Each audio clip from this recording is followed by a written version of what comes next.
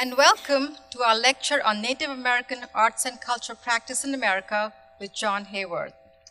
My name is Isha Vyas, and I'm the division head in the Office of Arts and History in Middlesex County. Before we get started, I'd just like to remind you that we do have the assistive listening system in place here. So if you're interested, uh, you could get the receiver from the table outside. This program has been brought to you by the Middlesex County Board of Chosen Freeholders and the Rutgers University Libraries. This has been a wonderful collaboration with the library and there are several people I'd like to thank for their assistance and patience in bringing, in organizing this event. First of all, Ron Becker. Uh, he is Professor Emeritus, Rutgers University Libraries, and the chairman of the Middlesex County Cultural and Heritage Commission, which is the commission that is from, that, that we um, support us. Krisellen Maloney, the Vice President of Information Services and University Librarian. Dee Magnoni, who's here, Assistant Vice President for Information Services and Director of New Brunswick Libraries, Jessica Pellien, Director of Communications, Rutgers Libraries, Christine Lutz, who's also here. Um, she's a New Jersey Regional Studies Librarian and, and Head of Public Services, Special Collections, and University Libraries. And I'd also like to thank Rhonda Marker, William Puglisi, James Hartstein, Charlene Hauser, Nancy Martin for their assistance in bringing this program. From our team at the Office of Culture and Heritage, Office of Arts and History, we have Michael Moran, who's here, Eva Walters, that you met outside, and Mary Gismondi. The Office of Arts and History provides arts and history programs and grants, Native American programs, folklife programs, and other educational programs. So to learn more of what we do, you can text the word culture to 56512 to access our mobile website and you can learn all about our different programs. Now I'd like to invite Dee Magnoni to, to share some remarks on behalf of the Rutgers Libraries.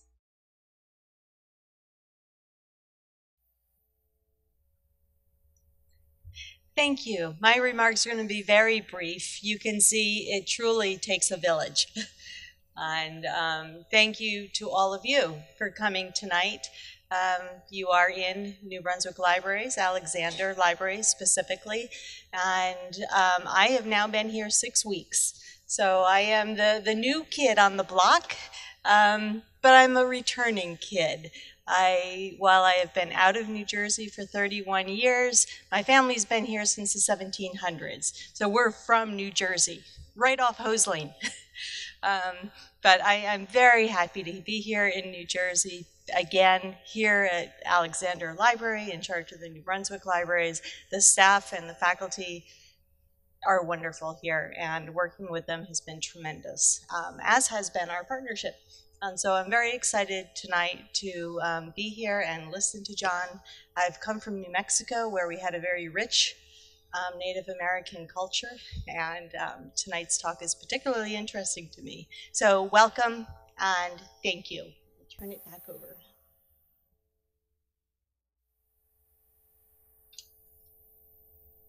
So in June, I was in San Francisco attending the Americans for the Arts conference, their annual conference, and I had the opportunity to speak to John Haworth, who was also attending as a board member of the Americans for the Arts and I invited him to present a lecture for us and was so pleased when he accepted. Mr. Haworth has served for over two decades as a senior executive and director of the Smithsonian National Museum of American Indian in New York. Currently, he serves on the boards of Americans for the Arts and Surplus and on the Public Arts Network Council. Previously, he served on the faculty of NYU, New York University, and has been the assistant commissioner of New York City Department of Cultural Affairs. He has written exclusively about contemporary Native arts and related topics and remains active as a speaker, writer, and advisor. And he also is a member of the Cherokee, right? so please join me all in welcoming Mr. John Haworth.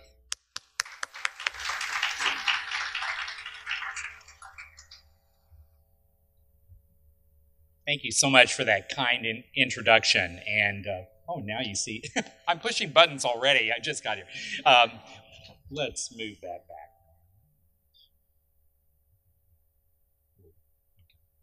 Uh, I want to thank the Middlesex uh, County Cultural and Heritage uh, Commission and Isha, thank you, and, and Mike and the staff has just been great to work with. And I'm so glad that there's a collaboration with Rutgers University and with this library. I'm proud to be here.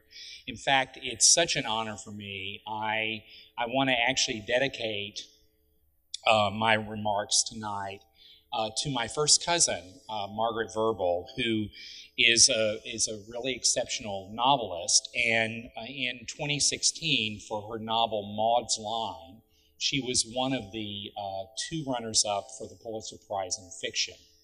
And in that novel, my cousin Margaret wrote about my own family's heritage and the history of allotment lands in northeastern Oklahoma and set in the year 1928. And I also want to uh, acknowledge uh, my our cousin Earl Boyd Pierce, who was a fierce advocate and lawyer on behalf of the Cherokee people in eastern Oklahoma uh, for the Arkansas River rights, and he fought that all the way in the court system, and that really made a big difference to uh, the Cherokee Nation of Oklahoma. Uh, there certainly are some serious issues that we could consider in talking about Native American arts and culture. Certainly, the topic of stereotypes in sports teams is one of those top issues, as is the politics surrounding the pipeline and all of the environmental issues that American Indian people have faced throughout this hemisphere and in the world, uh, including uh, Native Alaskan villages that have literally had to move hundreds of miles in, inland because their, their communities have melted in the Arctic. Uh, we could also discuss language and cultural survivor, survival issues, which are very profound and have great and deep meanings. And I want to put all of this in a broader context because as we read in the newspapers and hear on the news almost every day, the identity politics are under attack. So anything that is culturally specific or culturally grounded is up for review and criticism by the national media and even elected officials, as is the whole concept of affirmative action in our country. So, those ideas of cultural equity and economic justice and social justice are all issues that are in our faces every day of our lives if we're paying attention. And of course, in the issue of global migration, which is a profound and complicated topic, but I'm, I remember in working with some of the native communities in this hemisphere, there are uh, trans transnational Native people that are migrating from Latin America to our country. There are uh, there are literally reservation and homeland communities that uh, cross uh, either the U.S. and Mexico, and they uh, the border is not really part of their border, and the same thing on Six Nations in in uh, upstate New York and in Canada. But my topic tonight will be far more narrowcast my re- remarks are a reflection on my 21 year career at the National Museum of the American Indian and my experiences over many years in the cultural sector, having worked in senior positions at local and state arts agencies and my service on the Americans for the Arts Board of Directors.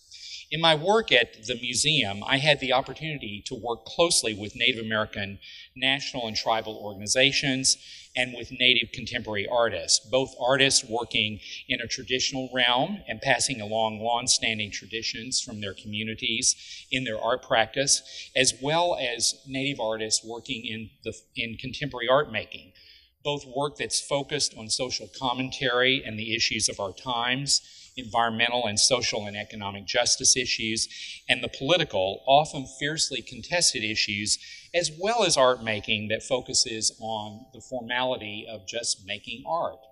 Uh, that isn't so much about commentary or the concept.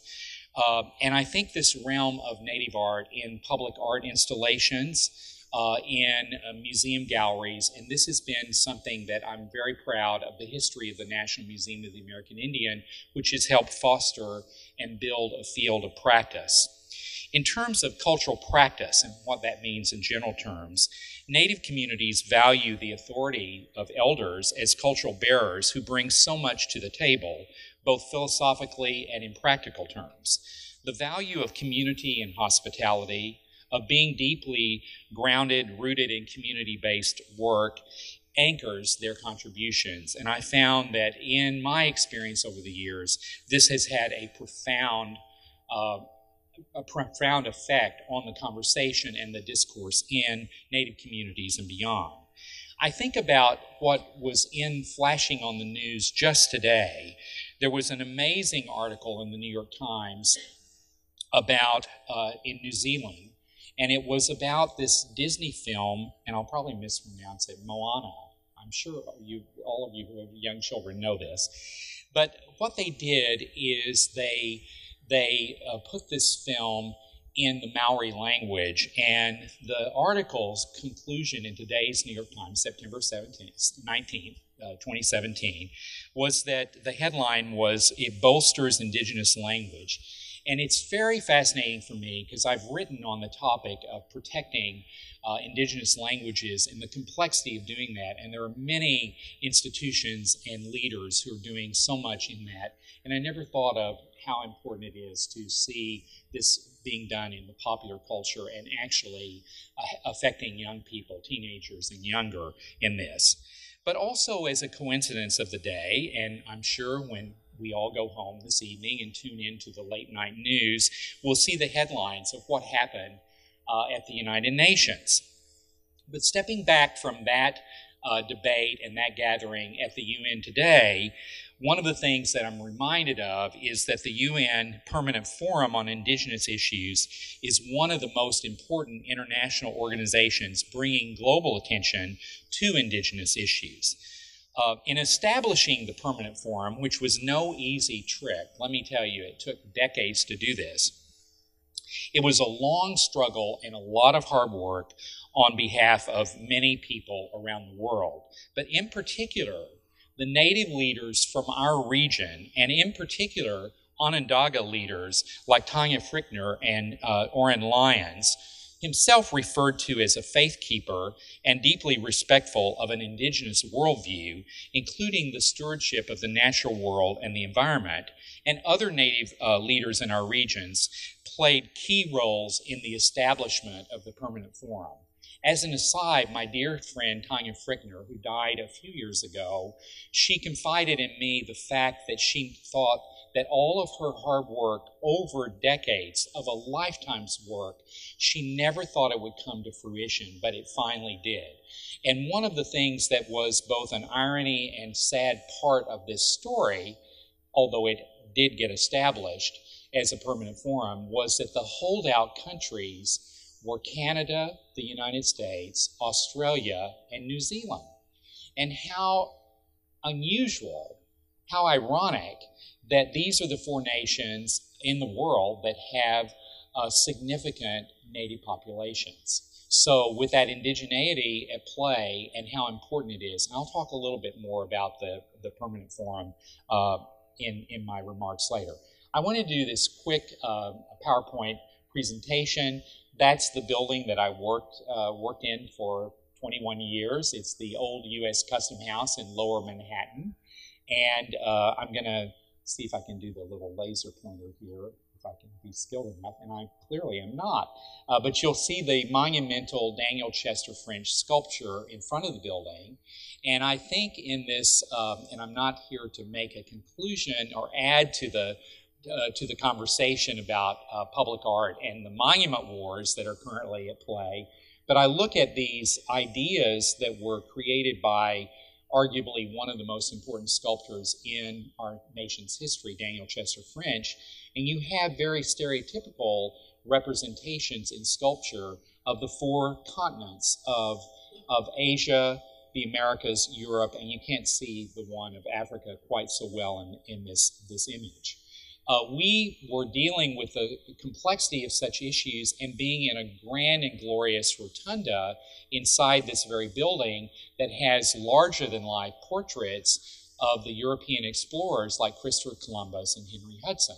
You can imagine the complexity of being in a building that is uh, that is the home of a Native American institution and dealing with daily reminder of Christopher Columbus and all that's embedded in that uh, piece of the history.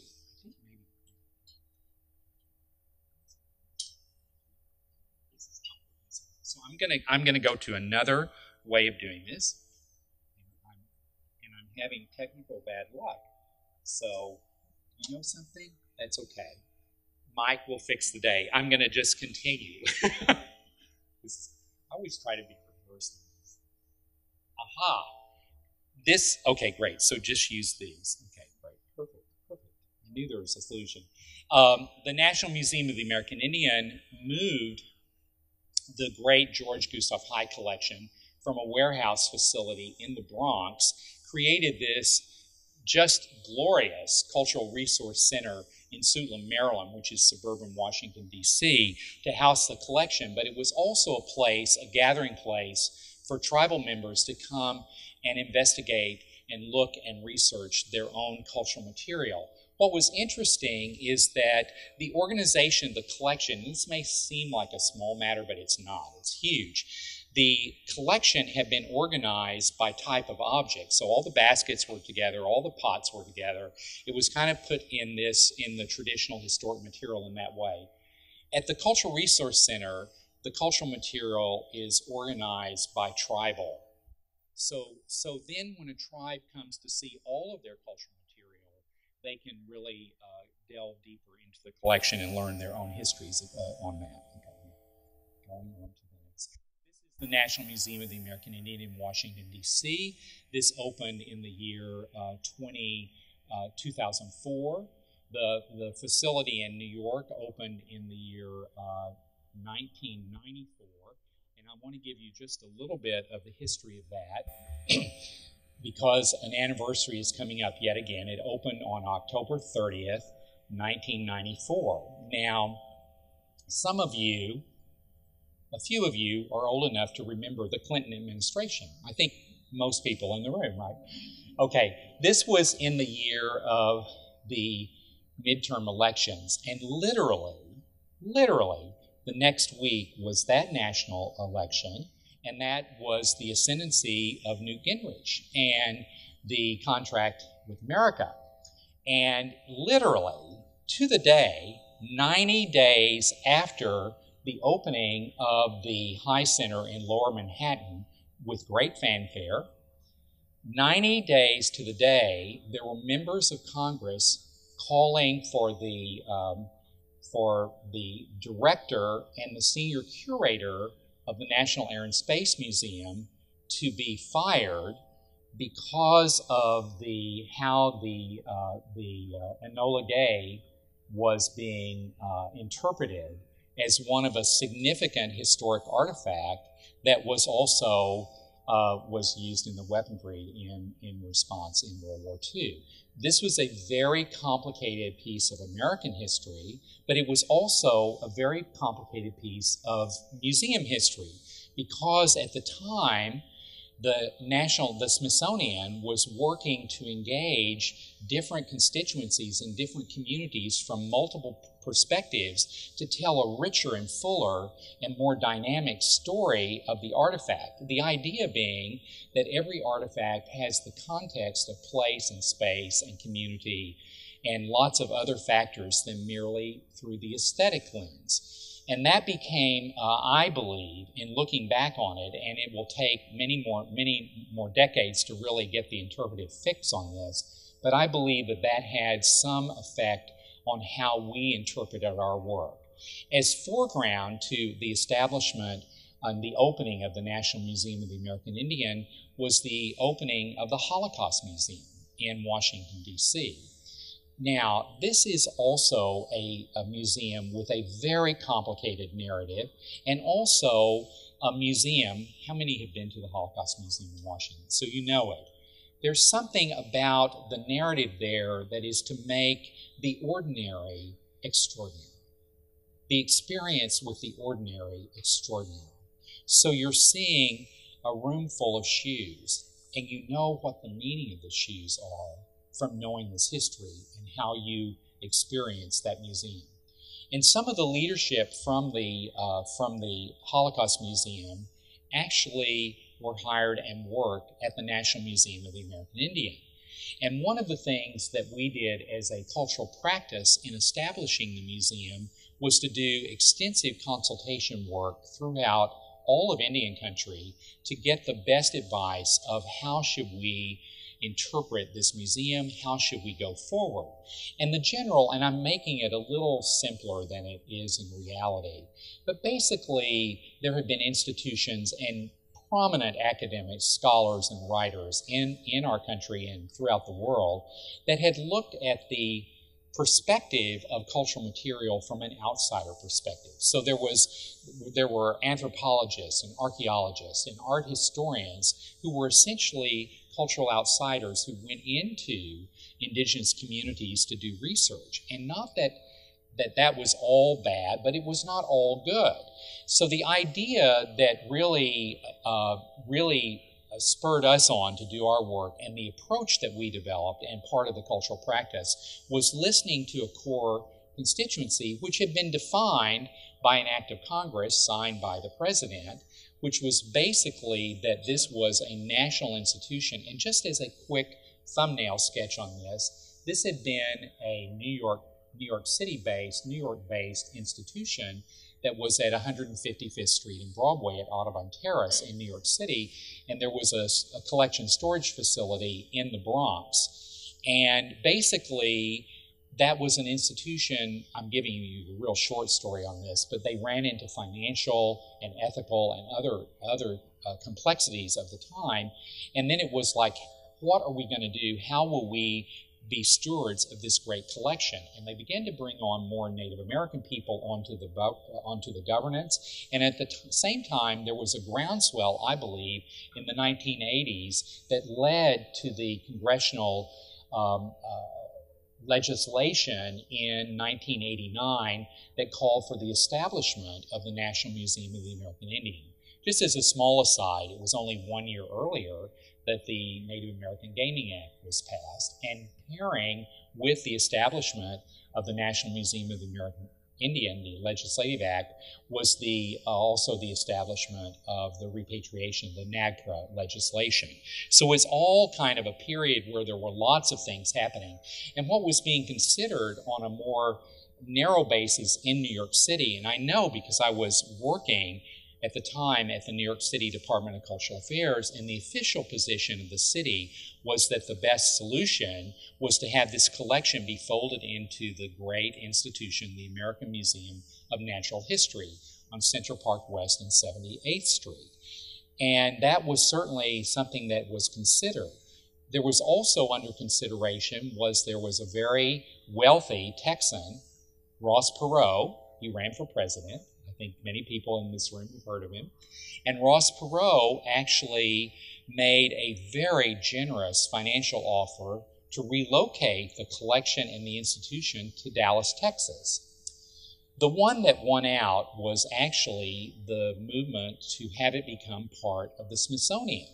But at the time, the Smithsonian also has, and still does, has the National Museum of Natural History, and that certainly was the easiest uh, administrative option, managerial option for the Smithsonian. But there was a groundswell of advocacy and work that was going on in Native American communities that says we really need to have a separate institution. And I think that it's fascinating. I would uh, call attention for all of us to take close looks at the establishment of the African American History and Cultural Museum in Washington, which is at the far other end of the mall from where this building is located, because it's in those two narratives of arguably what was the genocide of Native American people and the history of slavery and that complexity that really are the bookends, literally, to our, our country's tough history and culture. And I think that it behooves both of these institutions as great cultural institutions to tell deeper truths in the story of these remarkable, often harsh histories in our country. I wanted to show some of the vitality of the institution. This is Native Hawaiian dancers in front of the uh, museum, just uh, there. Here's another with great fanfare and very large urban audience there. Um, and you can get a little closer look at the Daniel Chester French there. Um, there's, this is uh, from one of the music programs that we had at the, the museum. I, I show you these particular images because the idea of cultural expression goes way beyond just presenting exhibits in a museum and doing something rather old fashioned in that regard, but rather bringing vitality to the idea that Native people are alive and well today and that uh, are doing their best to hold on to traditions and practice, and that's so important. This is part of the Day of the Dead uh, celebration. This, uh, I was very proud to have taken a lead role in presenting the uh, Choctaw choreographer Tom Pearson, who has a remarkable career. And this is this dance piece is very airborne, and I just love it. It's in the in the rotunda of, of, of, of the building, of the custom house. And one of the things that the choreographer Tom Pearson did, he used the convention of um, sign language according to the Boy Scout manual as a gestural vocabulary for having a conversation with the uh, European explorers that whose portraits surround this room. So the idea of somehow talking in dance through dance, communicating through dance about this piece of history was a kind of a reminder of the complexity of that, but also the kind of resilience and the artistic expression that came with that. So I thought that was great. I wanted to show you an exhibit called Infinity of Nations, and um, these uh, these glorious headdresses that are in the in the case there they come from each of 10 geographic regions uh, where we have elaborate collection material and one of the things that was very deliberate about this exhibit uh, while we certainly have many of the feathered headdresses from the plains in the collection we wanted to bring to the public's eye a different kind of expression. And so we wanted to contextualize and actually show off the collection in its historic roots. So the very elaborate female feather headdress in the center is from the Brazilian Amazon. But next to it, and you can't really, this, this image, this, this slide doesn't really give full justice to this, but there is a small Peruvian uh, hat that was created in, I believe, the year 600. So it was to show the breadth and depth and uh, geographic expanse and also the remarkable and deep history of this. The idea of infinity of nations was also, in a way, to present the material evidence to the idea, to debunk the idea that this was North America or even South America was a wilderness for the taking, that it was an empty land with no people that there were actually very sophisticated uh, cultural practice and economic practice and social practice in, in, in an infinity of nations. That they were really, in fact, prior to the establishment of the United States as a country, there were sovereign native nations that had their own formal diplomatic ties with European nations. So, without being hammering the visitor with the message, it was clear that here was the material evidence that debunked the idea that this was a wilderness for the taking and that there were actually people that were already here. And I think this is a lesson in a global context, wherever we look in the world, to kind of imagine there are no empty places. And so there are people that were there. I think that these stories are told through a remarkable collection. And I'm also proud of the fact that throughout this collection, because there was a lot of controversy in the museum field about interpretation, including using touch screens and using, and even now, you know, um, having having visitor experiences so you can bring your iPad or your iPhone or whatever. I don't mean to do plugs only for Apple products, but anyway, uh, uh, there is something about the encounter with the authentic, of really the encounter with real objects and contextualized so that it's not just a beauty show of through the aesthetics perspective, but rather it's put in the full context of the community where this work was created in the first place and how it was used in ceremonial practice and in religious expression and in all sorts of ways that had value and cultural meaning to the community itself. This is another view uh, of the inside of that gallery. Uh, this is an exi- this is an exhibit with some 800 uh, different objects from uh, the entire hemisphere. For uh, this New York region, we certainly have a lot of tourists from all over the world and from all over this country. But for our local audiences in the tri state region, having material from the subarctic and from the Arctic and from uh, the lower part of the most southern part of the hemisphere was very important because it's not cultural material that people have the opportunity to see very often. So showing that, and we also we we started the exhibit where you enter this journey of geography. You're entering from the southernmost point. Uh, and in the center of this, we had those very elaborately decorated uh, hides from from the from the plains. And what I found to be remarkable, because our cultural interpreters and educators could certainly work on this idea, but within steps, literally steps, three or four steps away from the glorious buffalo hides that were from the collection, there were also ledger drawing books that actually, after there was an attempt to eradicate not only the people but the buffalo, and so the switch from buffalo to horse culture, in very general terms, but where the ledger books of military officers became the medium and the venue for people to make art. They weren't making as much on the hides, but they were making it on paper and books.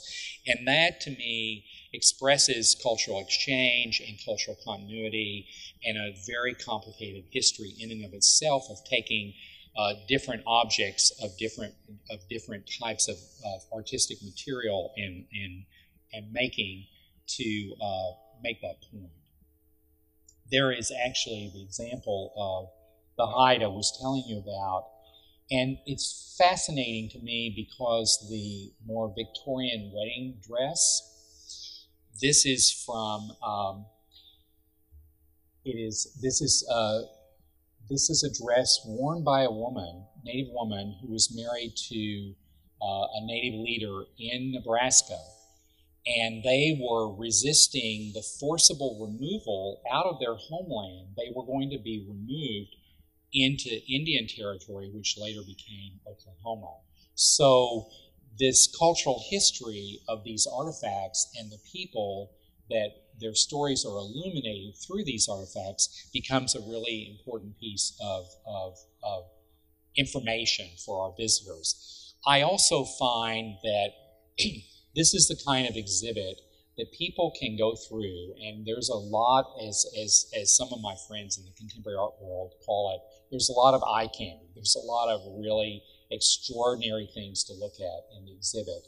So you can do this on just that level, but if you just go the extra step, you can go to deeper and deeper levels of cultural information and history and, and, and understanding of very complicated uh, cultural moments. This is from a Robert Davidson exhibit. Robert Davidson is a Haida contemporary artist. Uh, if you travel to the Vancouver airport, you can see some of his great public installations. What he did, he was uh, from the Haida community, which, to give you a sense of this, this would be a two hour flight north of Seattle. So, Haida Gwaii has the second largest rainforest in the hemisphere after the Amazon. And so his parents' generation was the generation of, of children that were mo- removed from their families and put into residential schools in Canada. There was later a public apology for that by the Canadian government.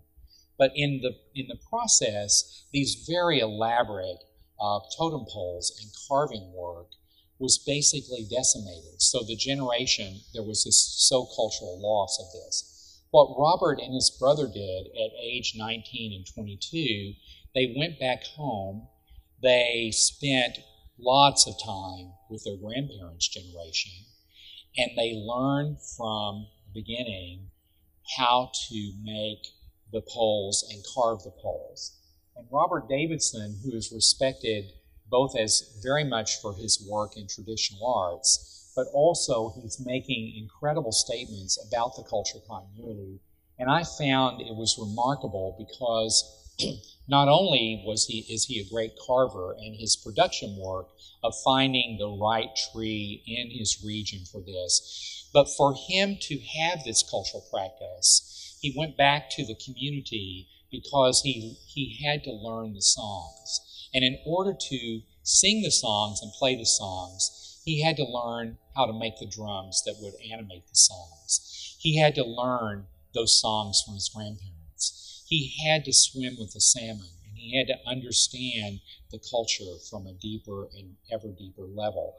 What I found was working with this um, incredible man, and I had the honor of, I co curated this exhibit that opened in the Seattle Art Museum and then came to New York. And I'm very proud. This is one of my proudest moments of my entire career because I got to work directly with Robert. But the thing that was also remarkable was that the Seattle Art Museum, which is an incredible, nationally significant museum, they privileged this exhibit. And instead of putting it off into the native gallery, they put it in the prominent uh, location of the contemporary art gallery of the Seattle Art Museum. And this was really, I found to be quite significant that they had that curatorial um, excellence to do that and to do something to move their institution in a new direction. So I felt that was really an important part of it. And getting to know Robert was really exciting. There's more of the exhibit. Uh, you will notice one of the things I make, and for those of you in the art history field and who studied painting or sculpture, you'll you'll recognize the whole muscular development of, of what's required of a carver to make this kind of work and, and that gesture of removing the wood to create this, and then what's required of painting and what is what is embedded in that practice and how Robert did that. And one thing I learned from him is that he had to take a complete break. If he had been working on sculpture and totems, he had to take a complete break before he could really be prepared to do the paintings and vice versa. So the practice of it, he really incorporated the uh, geometric uh, effects of the, of the cultural symbols of his culture and all of the animals and all the cultural practice embedded in that work uh, and then made it in the most extraordinary uh, sense of color and, and design, and everything was included in there. It's another one of those works. Um, another exhibit that I got to work on was on Horace Poolaw's photography.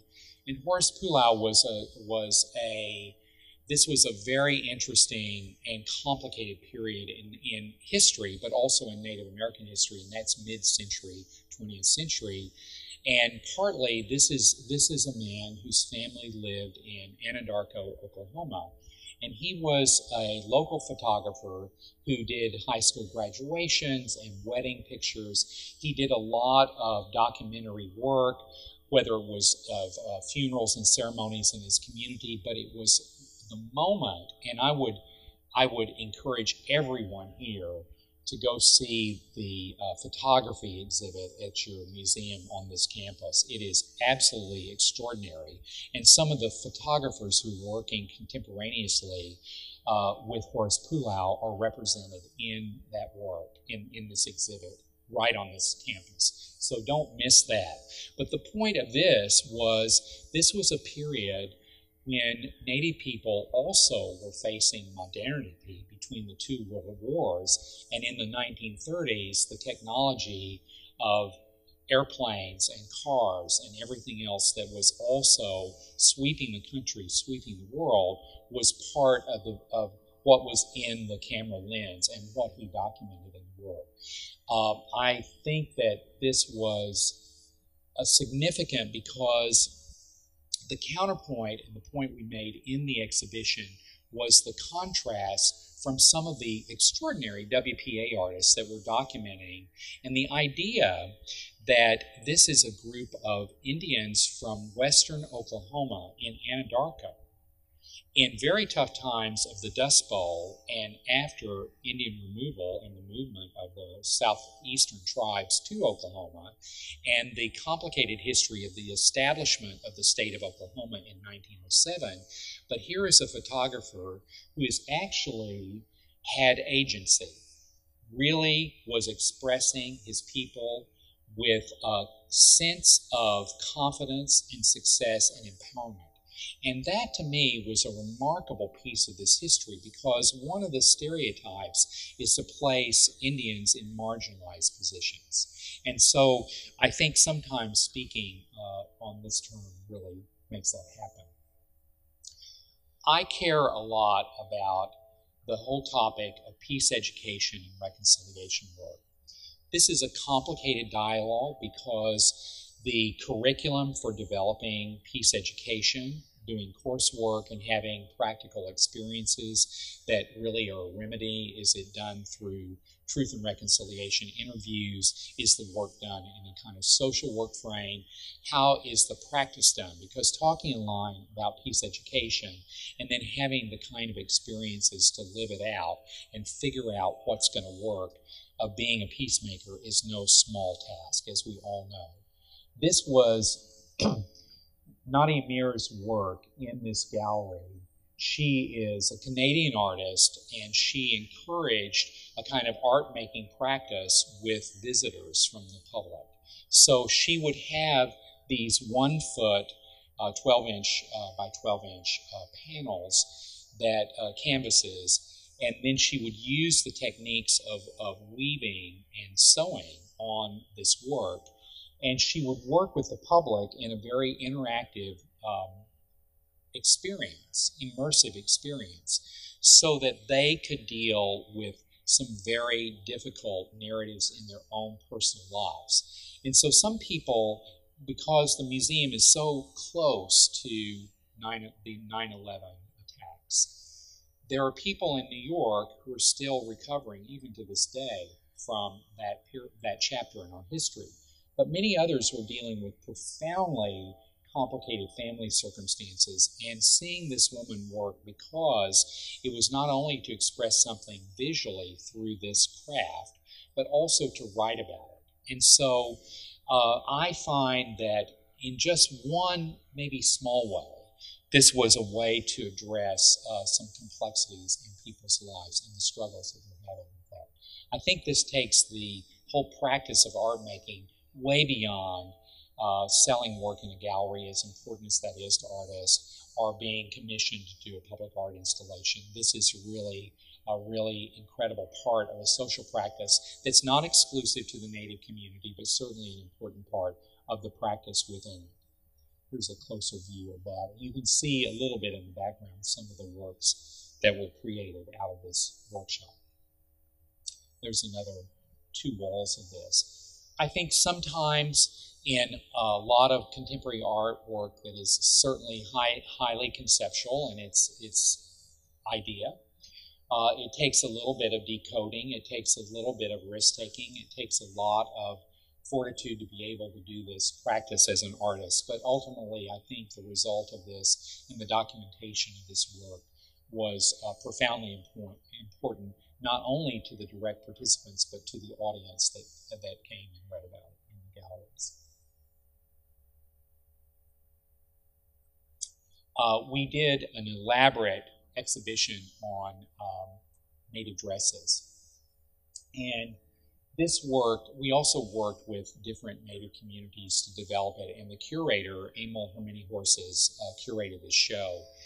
And one of the one of the sections, which I, I don't have an image to show you tonight, but one of the sections was of the ghost dance. And so there were literally dresses that had uh, bullet holes in them.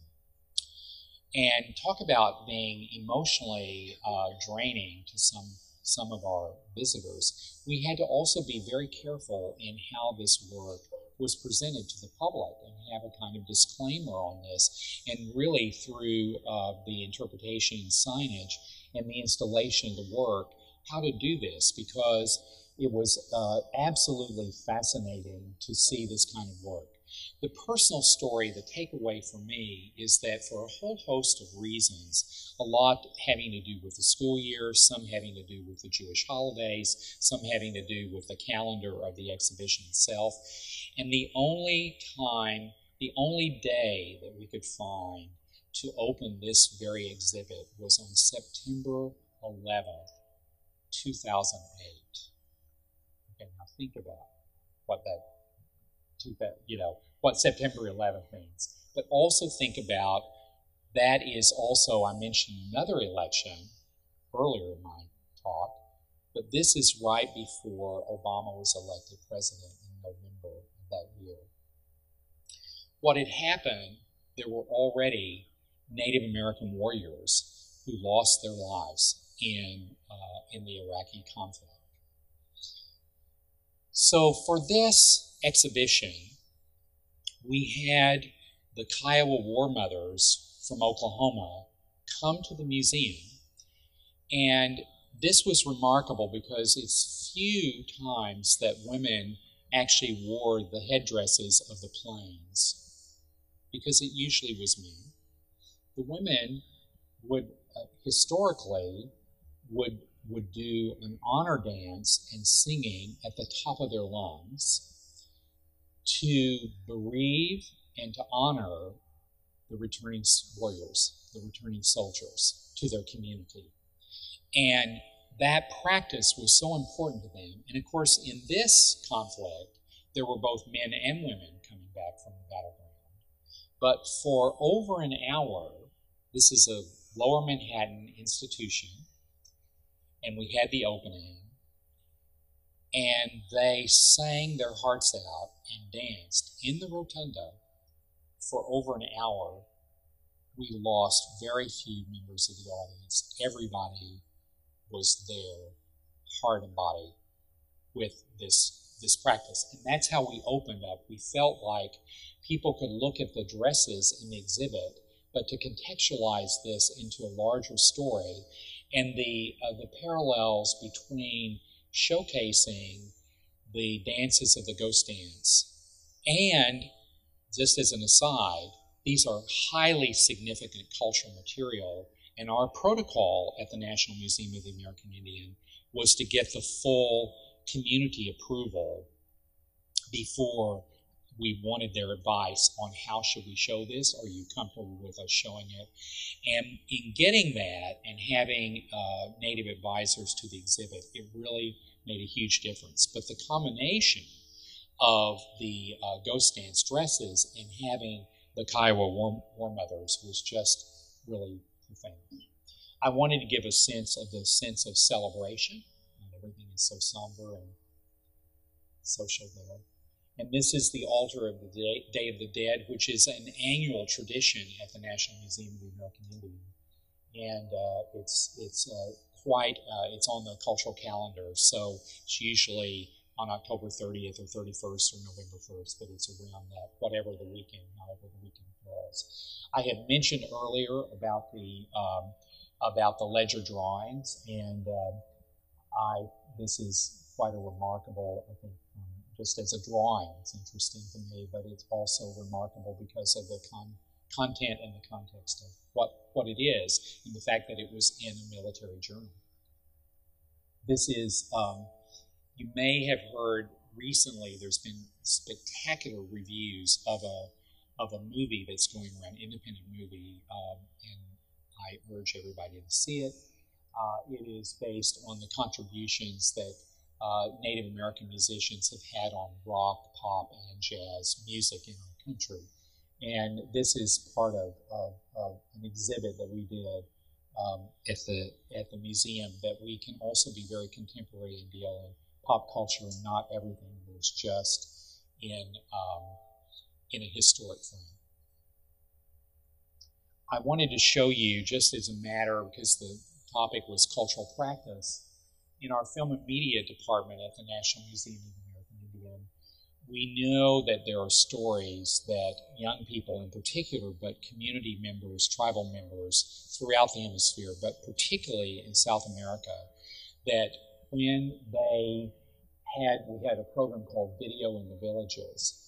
And so there were young people that had profoundly important stories to talk, tell about elders in their communities, about the environment, and, documenting that in their communities and what that was about and empowering young people with this. I'm drawn again. I got a lot of inspiration from going to the campus museum here today because there was work that Rutgers, that the museum is doing with teenagers from this area to have their photography be shown in a museum.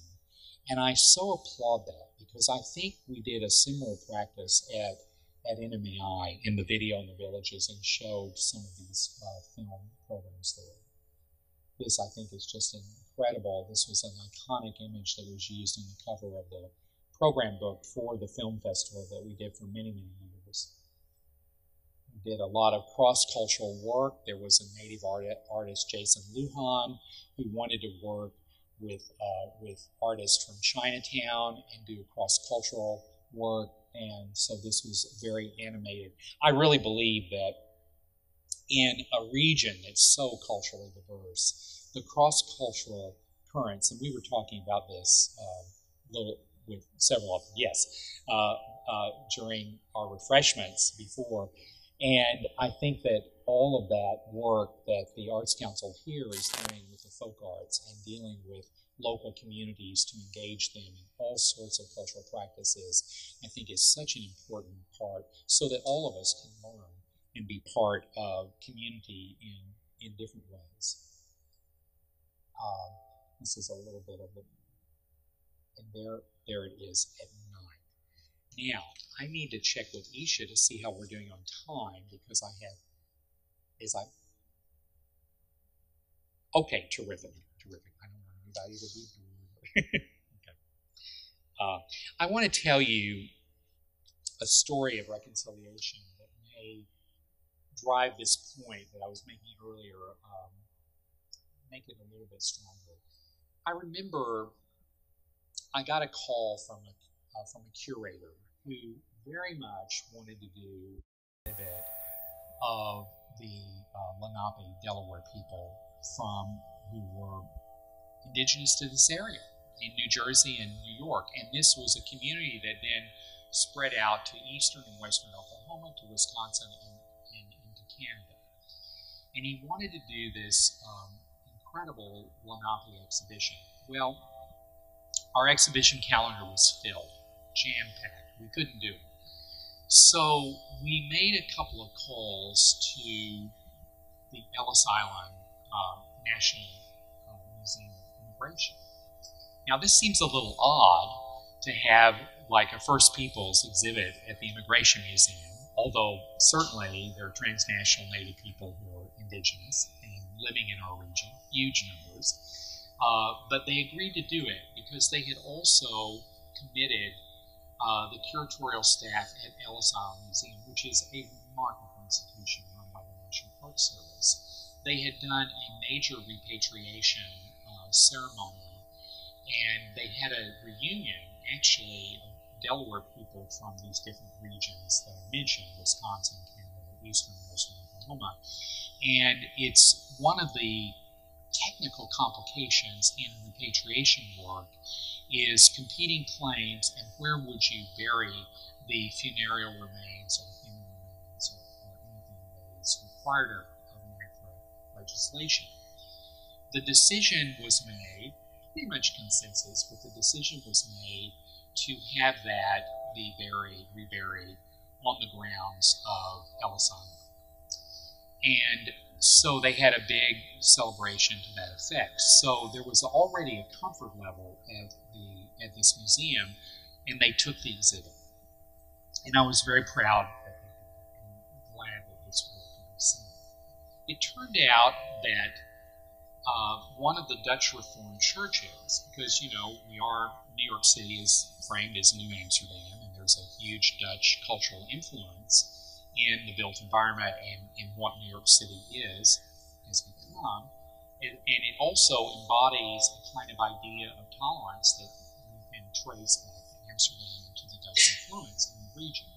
But one of the things that the elders of the of Marble Collegiate Church, they went to see this exhibit, and they were so moved by it that they went back to their congregation and they made a decision as I understand and have been told, that they would do a formal reconciliation and apology to the Native people of. And so they did that. And they happened to do it, and I remember the day, it was the day after Thanksgiving in the year 2009. Now, this was the first year of Obama's presidency, and you may remember that there was a some fanfare about the creation of Indigenous Peoples Day on the Friday after Thanksgiving. Thanksgiving itself having being a very culturally loaded holiday. We have so many culturally loaded holidays in, in our in our right. So what they did, they contacted and they got the, the permit from the New York City Parks Department and on the cobblestones uh, in front of the museum. They had this um, this apology ceremony, and hundreds of people up. And I believe that they made their best effort to reach out to indigenous community and community members, uh, Native people in the region. Did they do a perfect job of it? Not I can tell you other stories, but not from this lecture. But they did a pretty good job. And at the time, there was a very uh, prominent Native American leader, Curtis Zunigha, who had been the Delaware chief of the Eastern Band Oklahoma. He was based in Bartlesville, Oklahoma. And Curtis Zunigha at the time had been appointed to work for the Department of Commerce because he was working on the 2020 census and having every native person counted in the census was very important. So Curtis, uh, uh, he agreed to come up to this, being a Delaware leader, and he was a speaker, being a fluent Delaware speaker himself, and so there was a ceremony. And the ceremony was to give this formal apology. And in Chief Zunigha's response, he basically said, We'll move forward from here. He's very incredibly gracious about it. But he said, We can never forget what happened. This is the devastation, this, uh, this through, through history up to my people. And so he honored the truth of that uh, historic record and memory. But at the but the idea into was the idea of reconciliation and peacemaking. And to me, this was one of the most heartfelt moments that I've ever had in my career. Because at the end, there were two, I guess they were like nine years old. There was a, there was a, uh, a young Dutch girl in regaled her, her cultural outfit. And there was a young native guy, uh, who was in Indian and the two children, they removed their cultural necklaces and put on the other child. And the moment was so, this is, this is out of doors. This is on what a lot of people, it's a shopping day. It's what Black Friday is, the big, you know, it's all about. The place was visibly moved by this cultural expression. And I felt if a museum can, in its work, motivate people to take an action that is that culturally profound and something is in I want to talk briefly about some of the great work that some Native American organizations throughout the country are doing. The Association of Tribal Archives, Libraries, and Museums, these are all very young organizations formed within So ATALM started out as a small organization, and they now have upwards of 750 to 800 people to the annual speaking there in Albuquerque uh, in early October. But they're very much uh, an organization that is uh, developing a field and understanding that uh, Native organizations, most of these are community-based, tribal-based organizations, that they do need some technical help, whether it's in very narrow fields like paper conservation, or exhibition presentation, or climate control, or disaster preparedness, or cultural protocols, or working with elders and communities, or presenting poem series, you name it, all of those things are very important. This forum is one of the robust uh, discourses in the country. It definitely has a First Nations perspective to it. And one of the things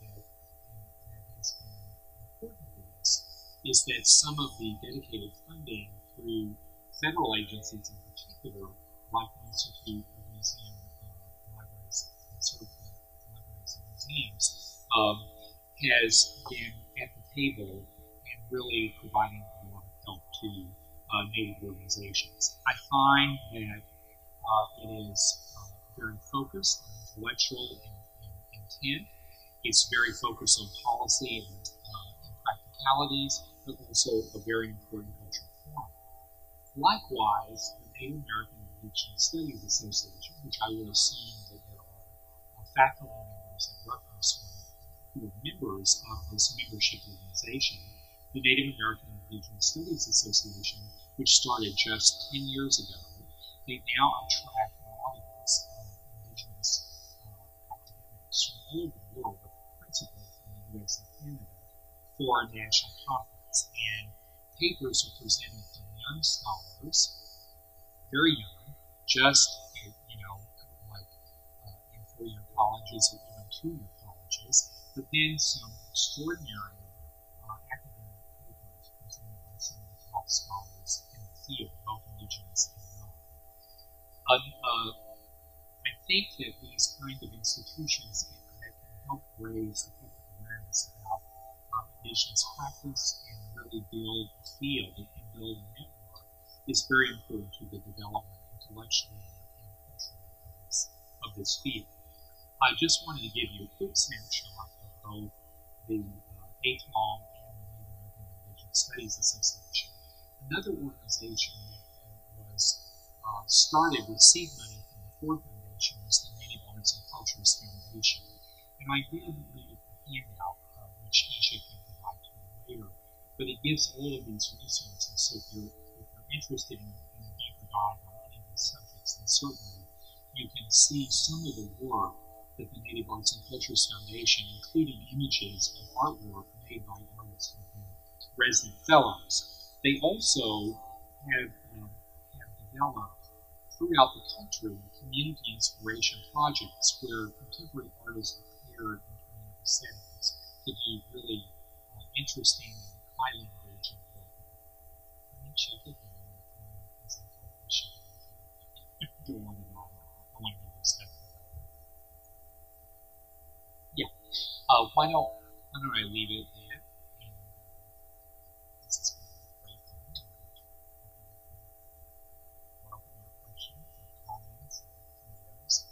Yes.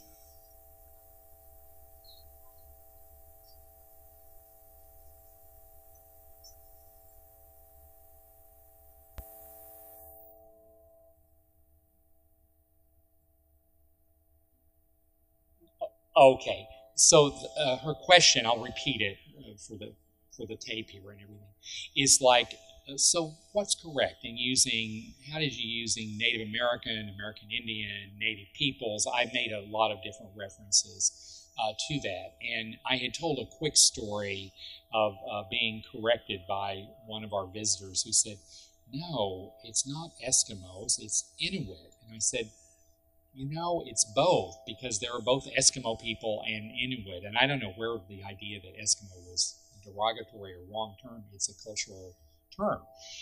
It was amazing because our predecessor institution, based uh, before the National Museum of the American Indian was established, was the Heye Center at 155th and Broadway, and it was the Museum of the American Indian. Now, I will tell you, I understand that in using, we, we adopted the same terminology from the Museum of the American Indian, and there was some, much debate about whether in Latin American countries, if this was a term of derision, that it was inappropriate of using Indian or Indio as, a, as, as this was a kind of disrespectful term in, in some Latin American uh, communities. So we had that, uh, we had a lot of conversation about it, and we decided to stay with the National Museum of the American Indian. In practice, uh, my colleagues over the years have used Native people, Indigenous people, knowing that in Canada the term usually is First People, First Peoples. In uh, Australia, we've done a lot of work. We're not our institution is not a, about Australia or New, Ze- Zealand, but we've used Aboriginal uh, in the whole uh, cultural studies field of looking at indigeneity and what that means, and who is indigenous and who is native to an area. Those are uh, in land-based ideas. So I found that it was very much reciprocal. That uh, sometimes we would we have Native People's Magazine, we have American Indian Magazine, you know. So I think that it's not been um, it's not been problematic for us to use a variety of terms. I hope that answers the question. Anyone else? Yes, I'm seeing a hand right back there, and then you.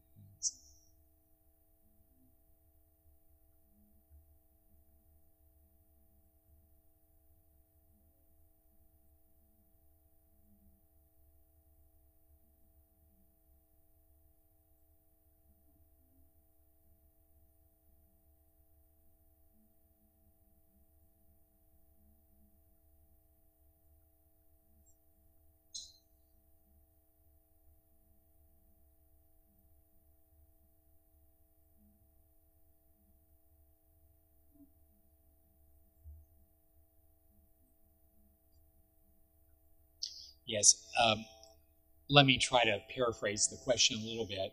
Given the, the economic reality of many Native communities being in deep poverty, and by the way, just as an aside, um, there is disparity within Native communities because some tribes have mineral rights or gaming revenues or whatever that that or, or they're more urbanized or in, in, that sense. So there's a lot of uh, a lot of dislocation within the communities, and you're absolutely right. That is a, a very complicated is what we're doing on such a middle class or intellectual level that it is not as inclusive as it could be or should be. And how do we, what are the remedies for dealing with that? Well, one of the remedies, and it was a legislative one, was that in creating a national institution, and I didn't go into the history of why didn't the whole museum just move to Washington and leave New York behind. It couldn't because there was um, there was in the New York charters. It was a, a chartered in the state of New York, and it was the uh, wishes of the uh, of, of, of, the people that created the museum that it would, based in New York. So getting the politics of getting the uh, congressional delegation and the mayor and the governor and the attorney general on board to even allow the museum what will be the political compromise so the compromise was there will be a significant permanent facility in new york and there will be the national museum established in washington which would be the headquarters and the collection would move so that was that was a very quick thumbnail sketch of the politics of that knowing that this is a very diverse um, hemisphere, and knowing that you got the country's political center and arguably the country's financial and cultural center in Washington, D.C. and New York City, how could we get not only the approval from legislators who, from, who were from rural states or from the West or wherever, and, the, and I believe the compromise in that language was to create something that for years we called the fourth museum. So here were the three facilities, and then there was this community outreach work that was very invested in the proactive work in repatriation and community building, but also in traveling exhibits. So I didn't show you any of the uh, more panel show exhibits because I will tell you one of the things, and it's a it's a remarkable challenge. In theory, it would be great to have the Arctic material go back to uh, Alaskan villages or in British Columbia in the north. But in, in reality, that's an extremely expensive endeavor. So, some of the things that have been done in terms of making our collections accessible to other regions of the country, we have done long term extended loans to the Seminole community in, in, in southern Florida. Oh my God, I'm hoping it's all okay. Uh, but a significant part of the Seminole collection was sent there for the new Native American Cultural and Heritage Center that's uh, in the works for Oklahoma City. There'll be a significant number of objects that will be on on long-term loan to that institution. And for the Anchorage Museum, uh, both the Natural History Museum, uh, the National Museum of Natural History in Washington, and the National Museum of the American Indian, both loan on long-term loans uh, significant collections to that region.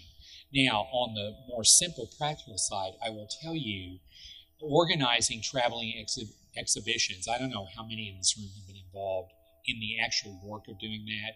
It is enormously complicated, and to, to make it work is very hard. So, our way of doing that is kind of reciprocal. We've allowed and invited, not allowed, that's the wrong word, we've invited uh, Native communities to have cultural ceremonies and performances in the in the mall in Washington D.C. But we've also had some panel shows.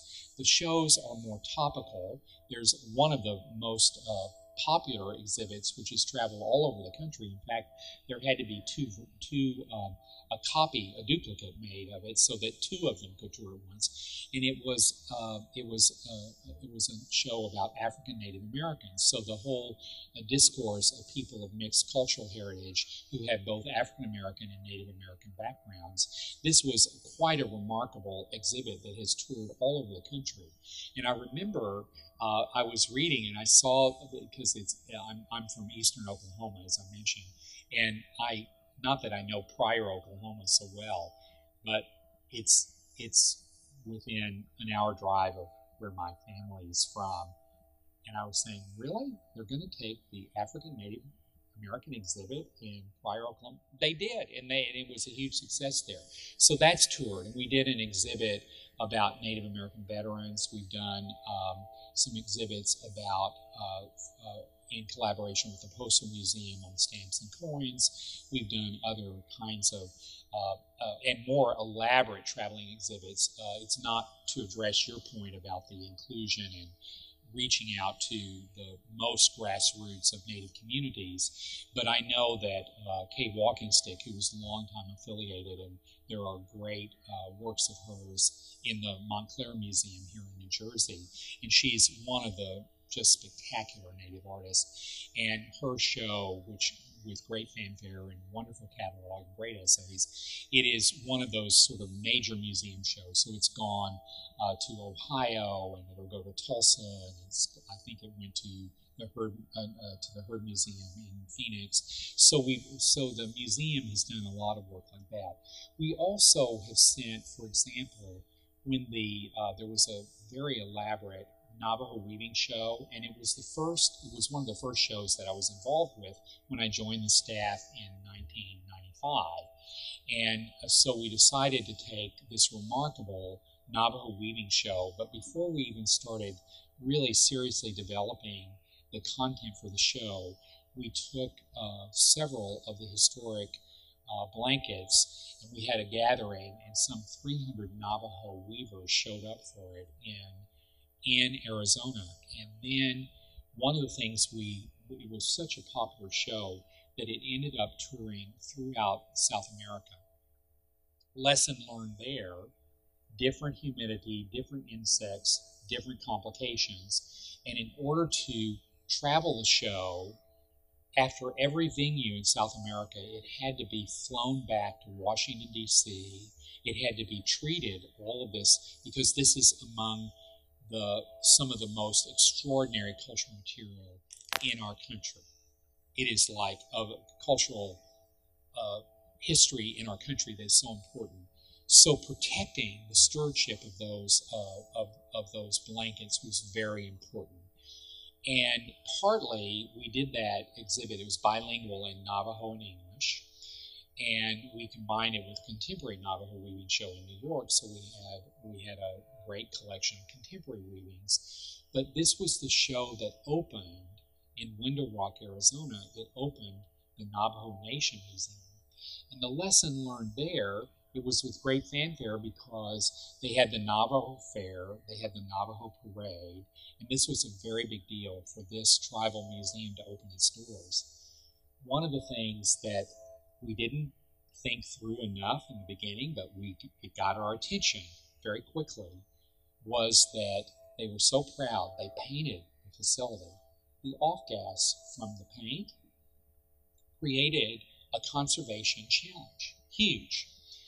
The fact is that they had incredible community people, but was it at a level of security that would meet the protocols and standards of the Smithsonian?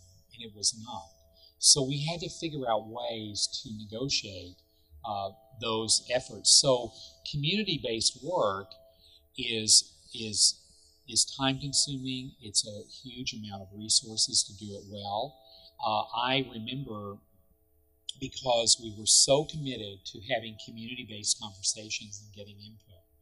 Well, who does the inviting and who does the convening and where is it held and who is at the table and who isn't and how skilled are the people from the museum staff to be able to have the kind of conversation that would really draw out the best advice from a local community. I think if any of you have been in any university bureaucratic meetings, you will know that this is no this is no small hat trick in uh, in an area where a lot of people are in basic agreement and have kind of a way of working. Working with this level of diversity and cultural specificity is very complicated. I will also tell you that one of the uh, in, incredible parts of uh, Native communities is that there's often a split between the elected and political leadership of a tribe and the tradition bearers, the cultural bearers, who have, bring a different cultural participation and contribution to the community. So sorting out all of those uh, sticky issues, it's not it's not so easy. But I think that the National Museum of the American Indian brings a lot of commitment and a lot of heart to that work. And I also think that there are people at the museum staff and on its trustees who are very deeply aware of the very issue that you put on the table and that disparity and being as inclusive as possible. And the realization that while the legislation that created NMAI was very much, it was going to be a Native institution and Native voiced. It was very much about the Native perspective and worldview and the interpretation and, and um, how things were done. It even went so far as to uh, say that on the board, the trustees, that it would be um, that that advisory board would be largely Native, most significantly Native. So it was, in a way, it's a counterpoint to the years and years of mainstream institutions that had not really been so open to having Native participation directly. I mean, I think just back to, I'm a huge fan of the Whitney Museum. I love going there. It's like, it's terrific. Go. It's terrific. But I also know that even the New York Times, which can sometimes be a pretty elite newspaper, okay, they were very critical, even Times was critical of how diminished the Native American presence and then who was presented there. And I will tell you, part of what has inspired me and stimulated me over the years, I mean, this, this year, into the Whitney Museum, there is um, a Jimmy Durham show. Jimmy Durham, as I best understand, is not tribally recognized. He's not he's not enrolled in his tribal community that he claims, and yet is one of the significant global artists whose work, and he worked for the uh, American Indian Movement, AIM, and he has great experience, and his work is very much a deep commentary on the social and political realities of Native life and expression.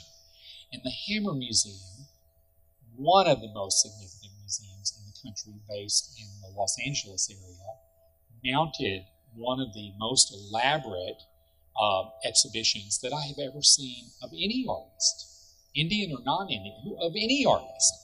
And that exhibition will be opening at the Whitney Museum, I believe, later this fall. I wanted to call everyone's attention to the whole fact that I know, and this is part of the cultural specificity, and we get we get darts thrown at us for political correctness, whatever, on all of this discourse. But I know that there are artists that are more inclined to have something that is taking on the larger political issues through the work. And I, I totally I understand that. And I think that I, I can use as a counterpoint Martin Puryear's work, very prominent African American artist, and, Mar- and, and uh, Mel Edwards' work, also a prominent African American artist. Mel Edwards' work is very much about the discourse of slavery and all of the uh, symbolism and, uh, and, and the cultural language of that. And the other artist is formality. And it's so, the whole thing, I've heard conversation ad nauseum about where artists are looking in the mirror and saying, Am I a Native American artist or am I an artist who happens to be Native American? So, like anyone in the art world, of whatever their cultural background, they're wanting recognition, good reviews, gallery sales, um, being part of an art world. And these are very complicated and sticky issues. I've been in, in forums with contemporary Native artists who said, wait a minute, we're not getting the recognition at the Metropolitan Museum, the Museum of Modern Art, the San Francisco Museum, and the LA County Museum. We deserve the recognition. We're at a level and caliber of our art making to do that. And there are institutions that are leading the way. One of them, and I put it on the on the list of resources, is the Brooklyn Museum. The Brooklyn Museum, and I might add the New York Museum, they've redone the native galleries there. And I, I haven't seen them yet, but I understand they're spectacular. The Brooklyn Museum is in their practice and commitment doing an extraordinary job, in my opinion, of really uh, negotiating some of these very complicated cultural issues. Just as an aside, although it's not, and it's also on the resource list, I am um, a huge fan Bryan Stevens, Bryan Stevenson, whose book, Just Mercy, is an absolute must read. This is the man who exonerated uh, prisoners on death row and incarcerated people and has become an advocate for them and has developed the lynching project in uh, Alabama. And what he's done is he's identified every county in the entire country that had a lynching, which went on from the 1870s until 1955, I believe. And so when a county can reclaim its history, he has the symbolic tree-like uh, from the lynchings that don't touch the ground. And when the county then, in America, and there's several in New York State, reclaim that history, then he will remove, have the uh, have that particular tree removed from the installation in Alabama. And his idea, and I think this was precursor because he was doing this work before we had all of the conversation about the Robert E. Lee uh, monuments and statues all over the country and all of that.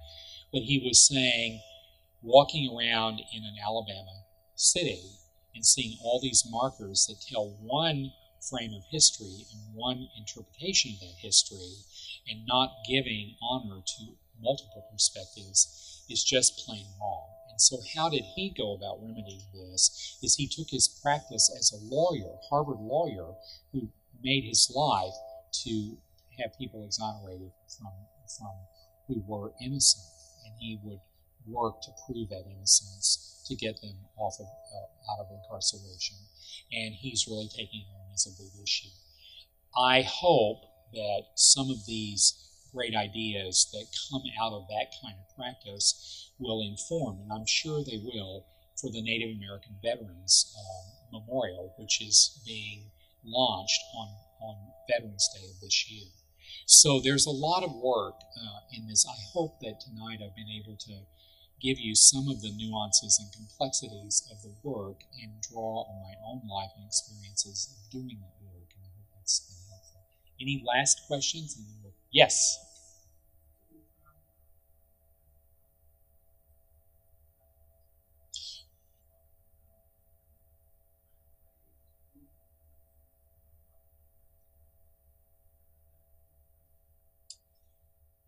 they have the museum decided uh, in Washington we had a, an entire symposium with uh, informed by scholars by advocates in the field of saying this is wrong. One of them is a, a brilliant uh, Native woman, Suzan Harjo, who is really from the Morning Star Institute, and she's been on the topic, especially with the team in Washington, D.C., about this very derogatory name.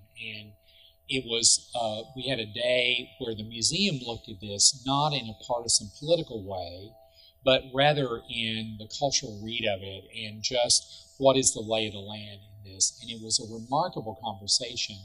And the, in the breathtaking moment of that day there was a young man, I assume he was about 18 or 19, and he was just visiting the museum in Washington that day, and he had on a ball cap of that team. And he just showed up, you know, and everybody was actually, we're, we're mostly polite people at the museum. They're really like welcoming. We try to be hospitable to people. Anyway, he was so moved from what he heard at the symposium that in the q&a section he came up to the podium he removed the hat ball cap and said he never thought of these issues in quite this way and how you know. So it is the stereotypes in our culture and who owns that uh, and how we deal with that. Um, i know that in some of our opening exhibits there were all these kind of uh, little toys and things that we could say uh, contradict, you know, like they're they're they're really not respectful culturally. And how do we turn it on its side and say, let's use that? And I know that the museum's director, Kevin Gover, has told many stories of going to like the um, whether it's boarding schools, going to the missions in California, and just seeing how deep these uh, stereotypes are because we're all informed by the popular culture. We're all informed by Hollywood movies and how Indians are presented in those movies, uh, how children, you know, I remember one of the native staff members uh, at my institution, and he's a very tall, large Ojibwe man with long black hair and um, just so proud of his culture and so informed. And little children, children visiting the museum and classes would come up and say, uh, did, you did you know any of the pilgrims? And it's just remarkable. I, I, it's like an Art Linkletter. What kids say the darnest thing. But where do they get that in the first place? And we're very self-selecting because people come with their own ideas of, of culture and you know and I've, I've, I've had very well-meaning wonderful volunteers at the institution would say to a native staff member well now are you going to wear your costume? Um, and it's like costume? This is like so so there's so much and and the way that we are dealing with that as an institution is we we went through and there was a, a, not a formal study but it was pretty thorough. We looked at all of the textbooks in high schools around America, all the textbooks we could get our hands on. And the number of stereotypes in the textbooks and how the history was being incorrectly taught, we realized what a, what a big job that we had to do. The kind response to that was we need to meet our visitors where they are. We have to realize that, yes, we're a native institution, but yes, we're also a mainstream institution because the great majority of our visitors are not Native American people. They're visitors from all over the world, from various and diverse cultural backgrounds, but they come to us with certain assumptions and learning and their own ideas of what's native and what's appropriate and all that. And without going overboard just to take a position and say, well, we're going to be very politically correct. And no, it's not about political correctness. It's about the facts, it's about the history. But when you have, and it's changing because of the internet, when you have a board of uh, educators in the state of Texas, which has so much power in the textbook industry and has such an ideology that's driving that uh, development, in practical terms, what do you do about it? Because the problem is of such grandeur and enormity that to take it on is hard. So the way that we've done at the National Museum of American Indian is to develop curriculum, to develop workshops that can be modeled by other organizations. We will, I'm, I'm presenting at the ATALM, the Tribal Archive Library Museum Conference, and many of these institutions are involved in education they have influence in their local communities. So the head of education of, NMAI and one of the uh, people that works in curriculum development will be presenting with me on the topic of Native Knowledge 360 to say, what are some ways that we can deal with this in bite-sized pieces? Because the enormity of that task to change a curriculum any of you who are educators on the education faculty here at Rutgers or any other place it is not easy work. But you have to start someplace. And I do believe the building block bite-sized pieces is the way to do it but I also believe that stepping back from something and looking at the metrics really looking at the raw data and trying to get a grip on that, understand the enormity, so you can describe uh, describe the issue in um, more pragmatic terms that will will put you on a path of changing something. We have one more, and then you should. Yes, you get the final word.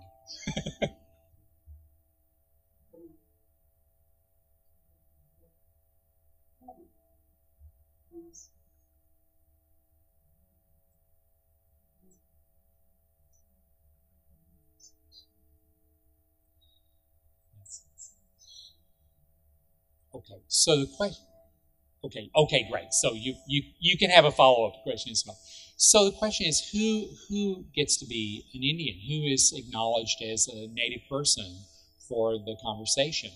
And in the in this, one of the things that at the National Museum of the American Indian, and this was a topic that was discussed at great depth and length, and leaders like Suzan Harjo and the founding director, Rick West, dealt with the issue of, of tribal um, enrollment. And one of the things is that uh, the person's name will be listed. They wanted to give the authorship to an exhibition to so that it's not some anonymous person that's the curator.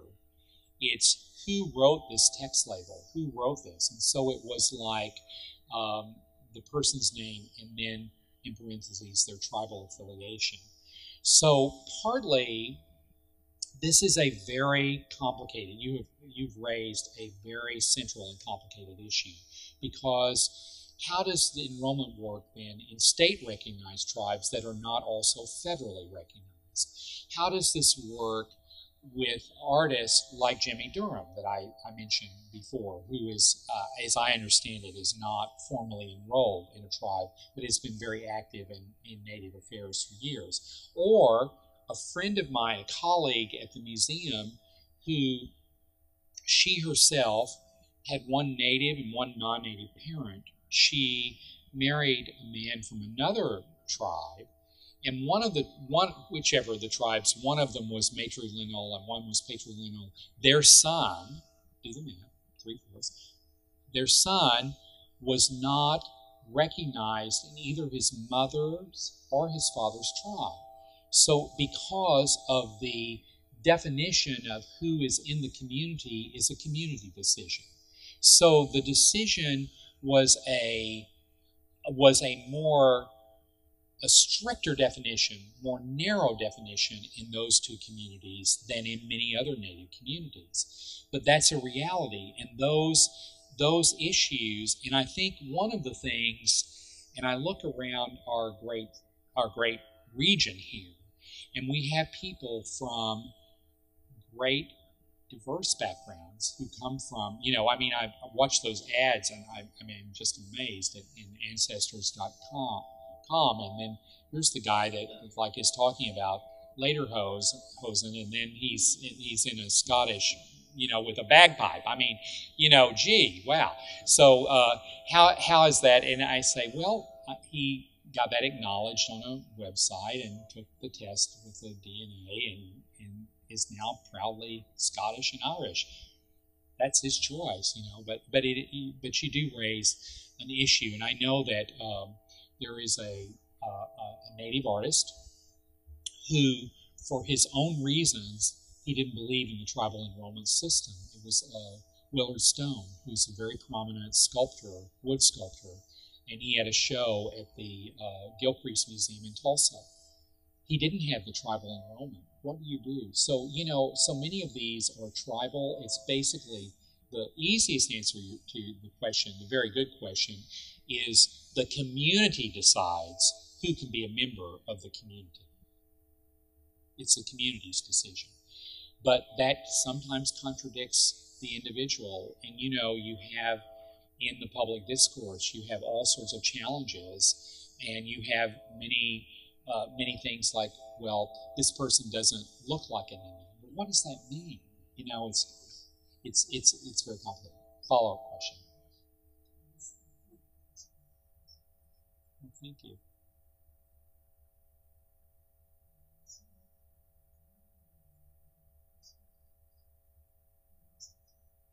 Yes.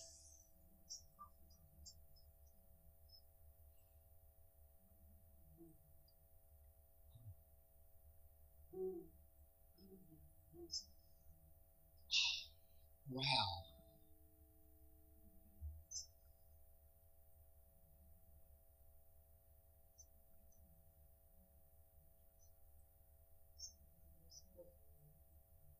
Hmm.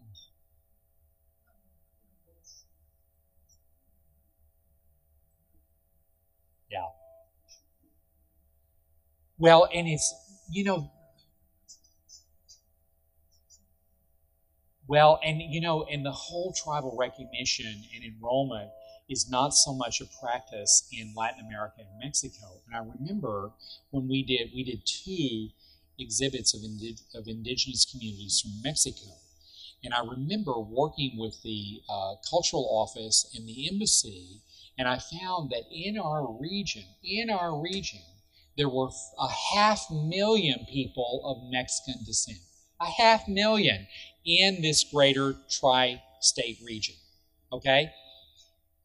Of the 500,000, I'll get to you in just a moment. Of the 500,000, it's my understanding that one third, or 135,000 roughly, were from indigenous communities, Pueblo, and so forth. So, in doing, in figuring out, because I, I make a joke about uh, a building that's so glorious like this, and I say, well, you know, we're suffering from an edifice complex, right?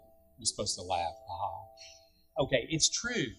It has its own cultural barrier because it's a big, fancy, architecturally significant landmarked building. And how do we, as museum professionals, break down that wall? Partly, you saw in the images I showed you, we take the museum outside. Partly, we take exhibits on tour.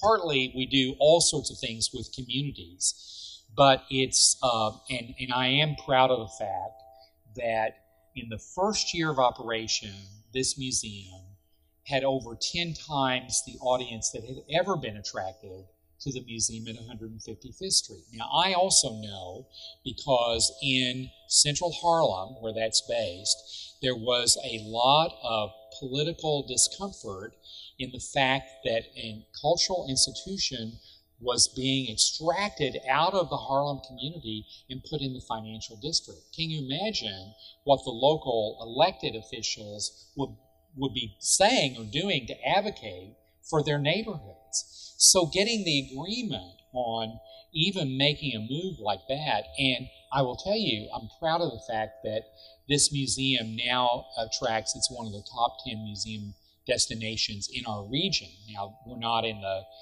MoMA or Natural History or Metropolitan Museum realm, but having close to 600,000 visitors a year is pretty damn good. But your point also about the Latin American and tribal recognition, this is, it saddens me to hear this story. Because I know in the meantime we've done, uh, there was an extraordinary exhibit that opened about a year ago in Washington on the Inca Road. And I know that we've had cultural presentations and video in the villages throughout a lot of South American and uh, Latin American countries. So there's still a lot of work to do, and along the way, I'm sure, like as you described to me, there have been some disconnects in that and probably some blunders. So, you know, I'm sorry.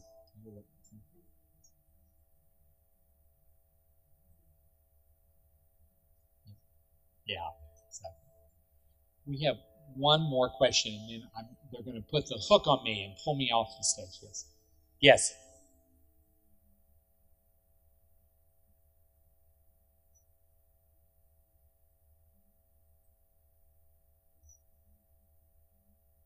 Yes, it's at the base of Broadway. So it's if if you've ever taken the Staten Island ferry, it's three blocks north of the Staten Island ferry stop. It's very much downtown. Um, down Lower Manhattan has become its own cultural hub.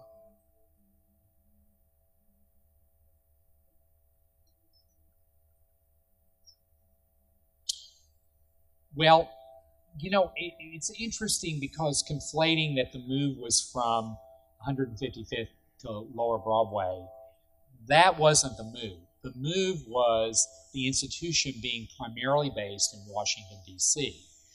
And then, actually, the story, which I'll tell very quickly, the story of how we ended up with the Custom House, there were many heroes in that. Uh, Senator Moynihan was one of them, but David Rockefeller leaned on then President Ronald Reagan to get a sweetheart deal, really, in a federal building that had been vacated for 25 years because the Custom House had been moved, that agency had been moved to the brand new World Trade Center.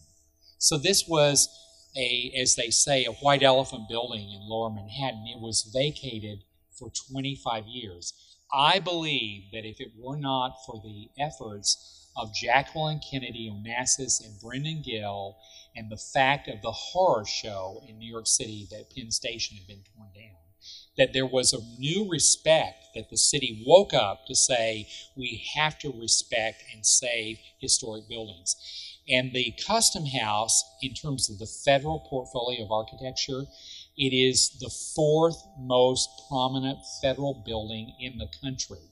The first is the White House, the Congress, and the Supreme Court building are the one, two, and three. Number four is this building. So when you're there, and go, please, take a really close look. It is a Cass Gilbert building. This is a remarkable American architect. Uh, it is so significant. Cass Gilbert did a lot of work in New York. This was his, he was based in St. Paul, Minnesota. This was his first major commissioning. It changed his career. Shortly thereafter, the next big Gilbert building in this region was the Woolworth building. There you have it. Okay, that's it. That's all. That's all we do.